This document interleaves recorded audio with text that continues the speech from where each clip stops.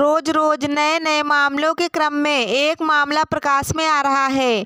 आपको बता दें कि उत्तर प्रदेश के जनपद बांदा के ग्राम पंचायत परसोली का एक वीडियो वायरल हुआ था, जिसमें ग्राम पंचायत परसोली की गौशाला में गोवंश को मृत दिखाया गया था। हालाँकि जब मीडिया बंधुओं द्वारा मौके पर जाकर निरीक्षण किया तथा पूछताछ की गई तो ग्राम प्रधान से इस बात से साफ़ साफ़ इनकार कर दिया।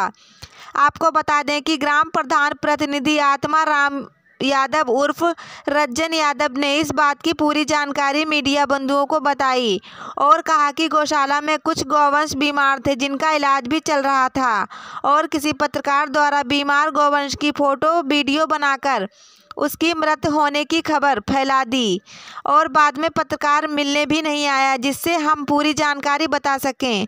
आगे प्रधान प्रतिनिधि ने बताया कि हमारी गौशाला में गौवंश के लिए हर प्रकार की उचित व्यवस्थाएँ की गई हैं और यहाँ कोई गौवंश मृत नहीं है और मृत गौवंश की जो खबर फैलाई गई थी, वह पूरी तरह से गलत थी। Bureau report. आपका नाम क्या है? मेरा नाम आत्माराम उर्फ़ रज्जन क्या है आप इस कौन सी ग्राम पंचायत की? ग्राम पंचायत परसौली प्रधान प्रतिनिधि। अच्छा। ये बताइए आपके गौशाले में क्या व्यवस्थाएँ हैं और क्या भूसे की क्या व्यवस्थाएँ गाय खाने के लिए? अरे बट ये आपके सामने दिख रहा प्यार रखा है हम्म, भूसा रखा है अच्छा। भूसा भंडार में रखा है लगभग कितना भूसा रखा होगा आपके भंडार अब मान लो कि दो ढाई सौ कुंटल तो यहाँ पड़ा है। अच्छा। और पाँच सौ छः सौ कुंटल डेरा में रखा है। अच्छा। ये बताइए कुछ वीडियो वायरल हुए हैं गौवन से मृत घोषित करके दिखाने कि उसमें क्या है मामला क्या कैसा क्या है वो? अरे उसमें सर वो कई गाँव से आया है हम आए हैं ऐसी कोई दिक्कत नहीं है ना दिक्कत थी आप तो देख ही रहे हैं। हम्म, हम्म, अच्छा बीमारी चली है हम्म, तो जो छोटे छोटे जान गौवंश हैं तब वो इलाज करवाया डॉक्टर साहब से।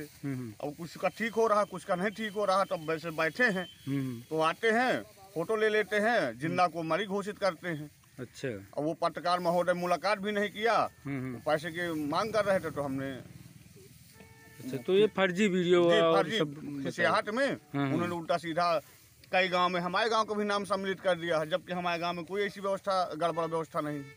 अच्छा। सारी व्यवस्थाएँ चुस्त अच्छा ये। डॉक्टर तो आते होंगे यहाँ डॉक्टर साहब आते हैं डॉक्टर साहब अपने लड़कों को भेजते हैं। अच्छा।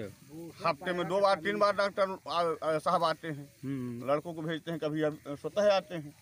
अच्छा किस ग्राम पंचायत के हैं आप ग्राम पंचायत परसौली। क्या नाम है आपका भाई कौन से ग्राम पंचायत के रहने वाले हो? आप इस गौशाला में क्या काम करते हैं? गोबर है भूसा है पैरा है सब नहा रहे हैं पानी दिखा रहे हैं। अच्छा कितने कर्मचारी हैं? पाँच। पाँच। पाँचों डेली आते हैं? डेली। अच्छा इसमें गायों को क्या डाला जाता है सुबह? भूसा नहा रहे हैं पैरा ना रहे हैं। अच्छा पैरा डाल रहे हैं और भूसा भी डालते हैं? भूसा डालते हैं।